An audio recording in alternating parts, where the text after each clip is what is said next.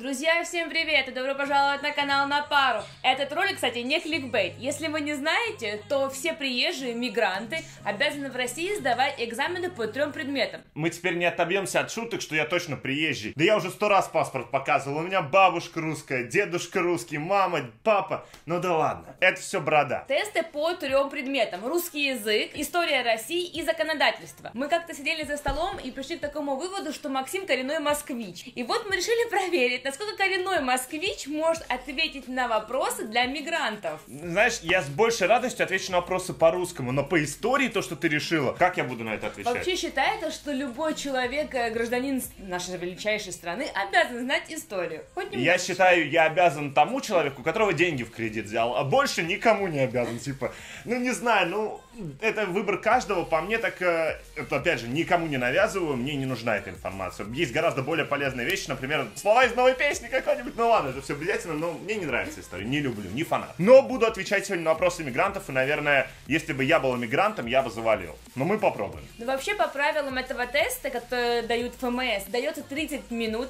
на ответы и 25 вопросов. Поэтому я тебе буду помогать, у тебя будет 5 подсказок моих. Конечно, не знаю, сколько правильно, но Типа звонок люблю. Другу или звонок девушке, да? Да. Понял, хорошо. А ты уверен, что ты правильно подскажешь, а не запоришь мне? Хороший Да, она на самом деле очень хорошо историю знает. Ну ладно, давайте. А если вы наставите здесь много лайков, то в следующем Алина сдаст тест по-русскому для мигрантов. Она же с Украины. Хочешь мне завалить А, ответочка? вместе, вместе. Ну давай. Кстати, в каждом вопросе уже изначально три варианта ответа, так что мне кажется, это немножко облегчает задачу мигрантам, потому что по логике можно додуматься. Это не облегчает даже задачу мне. Что ж там говорить про мигрантов? Ну давай, ладно, давай. Первый вопрос. Христианство на Руси было принято при князе... Владимире. Правильно. Yes! Уже больше, чем я рассчитывал. Дальше. Татаро-монгольское нашествие на Руси привело к укреплению государственной власти, развитию торговли, разрушению городов. К развитию торговли. Здесь нет вариантов ответов. Я думаю, что... э, К разрушению разрушение городов? Да. Знаешь, на самом деле, я знаю, что из-за вот этого татаро-монгольского ига больше появилось как раз отдельных э, поселений, они больше разбились. Да, Но раздробленность раздробленность началась, но типа из торговли, не торговли, ну, вообще они торговать начали с Азией. Ответ на этот вопрос даже Алина не знает, так что когда мы тест пройдем, он высветится. Посмотрим. началась. Следующий вопрос. Центром объединения русских земель во время э, татаро-монгольского ига стал город Варианты? Москва, Новгород, Киев. Киев, правильно? Я думаю, да. Вот я сейчас такой довольный отвечаю на вопросы с уверенностью, а потом в конце, когда выдаст результат, окажется, что у меня там один правильный ответ. Вот так и будет. Вангую. Давай дальше. А вы, кстати, можете в комментариях писать, какой я тупой, что вы сразу все догадались, и я сразу неправильно отвечаю. Царь Михаил Романов был избран на российский престол в 1480, 1613, 1825. Честно, понять, я слышал Романовы, но я понятия не имею, кто это. С него началась династия. Потрясающе! Моего дедушки тоже какая-то династия началась, может, ну типа, ну елки-палки, чем мне это сегодня в наше время поможет? Интернет настроить? Да вряд ли. Хотя вдруг у кого-то пароль, типа, Да, да. год. Или в банке ключевой вопрос, знаешь? Давай, году- пусть будет 17 век. 1613? Да. Правильно. Серьезно? Да. Ну я, я просто решил меньше, ну, посерединке стрелять. Ну, типа, Закончилось смутное время как раз-таки на нем. смутное время закончилось, когда я правильно ответил. Давай дальше. В начале 18 века царь Петр I провел перестройку, реформы, репрессии. Мне кажется, у него было все, если честно. Перестройку, реформу, репрессии. Но он открыл окно в Европу, это все, что я о нем знаю. Перестройка или реформа, но точно не репрессия. А Пусть будет э, реформа. Правильно. Он реф- реформатор называется. А что он реформировал? Да он все, А армию, ты, кстати, перед флот. съемкой камеру форматировала? Я вообще ничего не делала. Ты не поняла, типа реформа, формат. Боже, я испугалась! Давай дальше. То есть пока правильно на эти. И два мы еще не знаем точно ответ. Какой флот был создан при Екатерине Великой? Деревянный? Тихоокеанский, Черноморский, Балтийский. Давай так рассуждать. Какой флот был создан при Петре Первом? Деревянный. Это все, что... Нет, это вообще не Так, поможет. хорошо. С, с какой областью связана Екатерина? Кому она что отдавала? Какую часть России? Понятия не имею. Вообще. Так, я буду тыкать. Подожди, интуиция. Бум, бум, бум, бум, бум, бум, бум. Э, э, э, э. Пусть будет э, Черноморский. Правильно. Вот так вот, дети. Поняли? Не надо готовиться к ЕГЭ. Крым-то она присоединила. Кстати, а кто-то по-любому недавно сдавал ЕГЭ по истории. Пишите в комментариях ваши результаты и что будете делать теперь, когда завалили историю. Величайшим полководцем 18 века был Невский, Суворов, Жуков. А я понятия не имею. 18, значит, сем- 1700 какие-то. Как раз таки Петр и Екатерина. А, Невский еще раз. Э, Суворов, Жуков. Невский. Невским был в 1140 году и А. видовое побоище, поэтому, малыш, мимо. Это был Суворов. Но, не все же мне правильно отвечать. Надеюсь, моя бабушка это не посмотрит. Стрессово. Так, восьмой вопрос. В 1825 году произошло Отечественная война, отмена крепостного права, восстание декабристов. Ну, Это изи. Какой сезон сейчас в Фортнайте? Мы с тобой даже ролик где-то смотрели, как-то что-то было в нем об этом. Еще раз. 1800. Да, год. Что там? Отечественная война, отмена крепостного права, восстание декабристов. Знаете, вот я такой человек, что я считаю, что это мне не нужно. Это не поможет мне, это не поможет моим детям, это никому не поможет. По сути, это, если ты хочешь, ты должен это знать. Ну, типа, я пытаюсь оправдаться, то, что я не знаю. Ну ладно, пусть будут декабристы. Правильно. Ну, типа, это пальцем в небо. Отмена крепостного права была в 1861. А, то есть они еще и близко Они были. боролись, да, за Я-то это думал, тоже. ну, короче, ладно. Ну ты молодец. Да вообще, просто класс. Мы с тобой переходим в 20 век, должно уже быть полегче. Я что тогда же... А, я, кстати, жил в 20 веке. Да, так что... Я в 93-м году родился, ну, чуть-чуть застал его. Но сомневаюсь, что вопросы будут про него. В начале 20 века аграрную реформу в России провел Ленин, Сталин, Столыпин. Я третьего первый раз в жизни слышу. Я тебе клянусь. Не знаю. Ну, я тебе подскажу, хочешь? Да пусть это будет Столыпин. Правильно. Потому что я его не знаю, значит, это вот дальше того времени. Сталин и Ленин, они были чуть попозже, Да, они не занимались такими вопросами, они в общем реформы по стране проводили. На самом деле, я просто прибедняюсь, я все это знала, я, знаете, для Да, интриги. да, делают вид, что я такой глупенький, но все правильно отвечает пока. Хорошо, следующий вопрос, десятый. Лидером партии большевиков был Ленин, Троцкий, Милюков. Ленин, Правильно. Следующий вопрос. я сам удивлен больше, чем ты. Я, красавчик таки, а? Знаешь, когда я твои украинские фразы переводил Да, да, и правильно сразу. Я говорю, он приподняется просто. Одиннадцатый вопрос. В годы Первой мировой войны Россия воевала на стороне Австро-Венгрии, Германии, Франции. Я о Первой мировой войне знаю ровно то, что она была первой. А после нее была кто? Вторая. Э, Австро-Венгрия, Франция, Германия, Была да? Антанта Да. и был Тройственный союз. Где была Россия и с кем она была вместе? Пусть будет Австро-Венгрия. Франция. Германия, Франция. Антантом была Великобритания, Россия и Франция. Они воевали против Германии, как раз таки с Австро-Венгрией. Точно. Опять против Германии все воевали. Ничему жизнь их не учит. Хорошо, следующий вопрос. Советский Союз в каком году, году был образован? В 17-м, 22-м, 37-м? Году? Да. Когда Я бы в веке бы, может, не сразу ответил. Нет, в 20 веке. Он существовал э, 70 лет, Советский Союз. Вариант ответа? Э, 17 год, 917, 922, 937. 22-й. Красава! Я просто, я просто вычел. Я знаю, когда СССР распался. А, слушай, молодец.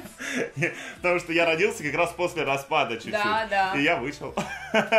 Видите, это когда объединяется история с математикой, получается правильный ответ. Процесс объединения единоличных крестьянских хозяйств в 30-е годы 20 века называется национализация, индустриализация, коллективизация. Коллективизация. Ну, объединение. Опять, вот, понимаете, это не история, не мои знания этой истории, это логика. Но это общеизвестный момент, когда, Общеизвестный момент. Да нифига. ну, когда у богатых и бедных хотели все сравнять и делали коллективы этих колхозов. Вот, слово забыла. Колхоз. Вот, следующий вопрос по продолжению Первой мировой войны. Вторая мировая война, отечественная. Союзником СССР кто был? Германия, Япония, Великобритания. Во Второй мировой? Да. По-моему, в начале Второй мировой они заключили какой-то союз о ненападении с Германией. Это считается, типа? Или Нет, это нет? это уже нет. Это не то. Это Всё. союзником как бы... Это они были до войны, получается, потому что у них было не нападение, да, потом они его нападение в нарушили. 39 году с Да. Германией То есть подписывали. это не считается союзниками. Э, Я думаю, нет. Ну, я, я Тогда Великобритания. ответила. Я думаю, да. Но ты- Великобритания. Не уверена, но узнаем в конце. Смотрите после рекламы. А реклама уже была, простите. 15 вопрос. Первый искусственный спутник Земли был запущен в 41 году, 57 году, 61 году. 41-м. Нет, ну а наш 50 в каком-то. 57 году. Но вот это идете в 41 поэтому... А сейчас Илон Маск столько спутников запускает, что я смогу себя на даче с Wi-Fi сидеть и играть в компьютерные игры. Кайф. Так, мы приближаемся уже к, ко времени нашего рождения. В 1980 году в Москве состоялись зимние Олимпийские игры, летние, чемпионат мира по футболу. Не футбол. 80-й? Мишка такой красивый был. Потрясающе. Ну, Олимпиада, то какая понятие? Это что, типа, зимняя или летняя? Да пусть зимняя будет. Нет, летняя, летняя, летняя, летняя, Летняя летняя. Олимпиада. В 80-м году многие страны ее бойкотировали, и Мишка улетал с Лужников. В Лужнике построили летняя Олимпиада. Да я знал. Ты знал, я не сомневалась в этом. Спорт. Хорошо, 17 вопрос, мы близимся тоже к концу. В конце 80-х годов перестройку в СССР провел Горбачев, Брежнев, Хрущев. Кого хаят за перестройку? Кто плохой? Кого бабушки обычно обсирают? Звонок другу. Алло, Алин. баб- баб- Ду-ду-ду-ду-ду. Так, смотри, мои мысли такие. Я знаю, что хрущевки это плохие дома. Но, судя по всему, я не слышал, что бабушка хоть раз Хрущева ругала. Да. Поэтому мое предположение, которое ты можешь поменять, чтобы у меня был правильный ответ, это кто Горбачев и Брежнев, я с тобой разговариваю на линии. Слушаю тебя. Горбачев, правильно? Да. Я не вырежу это, короче, типа не звонил. Горбачев. Уверенно сказал, все знаю. Ну, ты так правильно ответил, даже без звонка. Но что я, я просто был совсем не уверен, я поэтому логически решил проконсультироваться по телефону. И знаешь, когда ты маме звонишь, такой типа, да, ну вот, ну вот, ну да, да, да, хорошо, я так бы и сделал все равно, но просто решил убедиться. 18 вопрос. Памятник рабочей колхознице. Находится в городе Ростов-на-Дону, Москва, Уфа. Уфа. Москва. Черт. На ВДНХ стоит. Они вот так, серп и молот А, Я держат. понял, да, да. Помнишь? Да, мы там гуляли с тобой. Максим, вот это уже тоже интересный вопрос. Развал СССР в каком году произошел? 92-й. Нет, 91, 93 и 89. А, Ну, тогда 90 91-й. Да. А значит не 70 лет, получается. Ну, там, я, 69. ну, я не, так округляю до 70, ну, что там считать-то? Изи. Дальше. А, Так, следующий вопрос. Это, мне кажется, немножко такой. В 2014 году Республика Крым присоединилась к Российской Федерации. Эх, реалии современные. Ребята, не пишем, чей Крым, пожалуйста, нам все равно, чей Крым, да? Да я туда все равно не поеду. А В результате чего присоединилась э, Крым?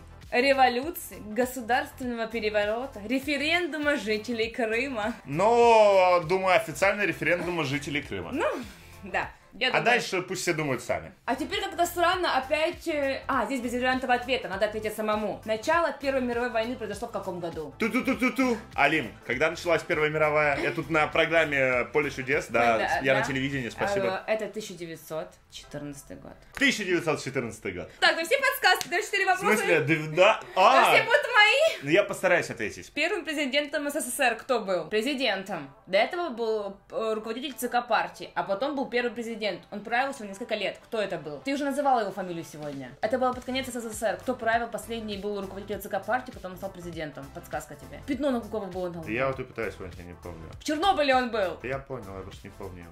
Брежнев, Следующий после Брежнева. Кто был? Горбачев. Да. Горбачев! Правильно, молодец. А ты, о, какое совпадение, я тебе говорила. Крепостное право в каком году было отменено? Я тебе говорила в этом ролике уже. Ты меня не слушал.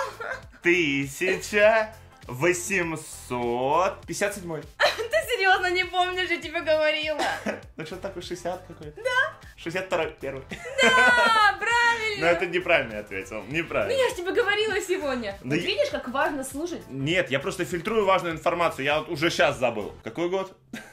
Так, предпоследний вопрос. 22-е Олимпийские игры в 2014 году произошли в каком городе? Твоим любимым. Сочи! Правильно! И последний вопрос. Самый известный музей России. Что? Где собрано самое большое количество исторических экспонатов В называются? Питере? Нет. Не в Питере? В Москве есть музей? Вот это поворот! Э, Эрмитаж? Нет, если честно, ну я не знала. Государственный исторический музей. Так неожиданно, если честно. Государ- Я так... Это, по-моему, тот, кто на Так, реконструкции. сколько у меня правильных ответов? Рассчитать. Завершить тест. Вы ответили на 20 вопросов из 25, 80%, а проходной балл 75. Вы успешно набрали проходной балл! Я хороший мигрант. Слушай, я даже не все подсказки использовал. Ну, если честно, ты молодец. Я мог бы запороть несколько, вот я где-то рисковал, сам отвечал, мог бы позвонить тебе, и ты подсказал. То есть я использовал всего две подсказки. То есть, возможно, я даже сам бы сдал. Ну да, если Потому честно, что одна да. подсказка я там сам угадал, да, другую Да. прям полностью не знал. Вообще, я как человек, который знает историю неплохо, я считаю, что это не очень сложный тест, но, конечно, для конечно. иностранцев это сложновато, учитывая того, что они учат э, историю своей Для страны. коренного москвича сложно. Но смотри, ты подтвердил свой статус коренного москвича и статус иммигранта тоже. В следующий раз ты будешь оправдывать свой вид на жительство, проходя... Так, а если ФМС увидит и лишит меня его? Нет! Так что наставляйте здесь 20 тысяч лайков, и она будет проходить тест по-русскому. Ну а на этом на сегодня все. Я тобой горжусь. Я, я, я собой горжусь еще больше. Не забывайте, конечно же, подписываться, нажимать на колокольчик, ну и оставайтесь с нами. На пару действительно веселее. Пока! Пока! Блин, вот где мои волосы все. А,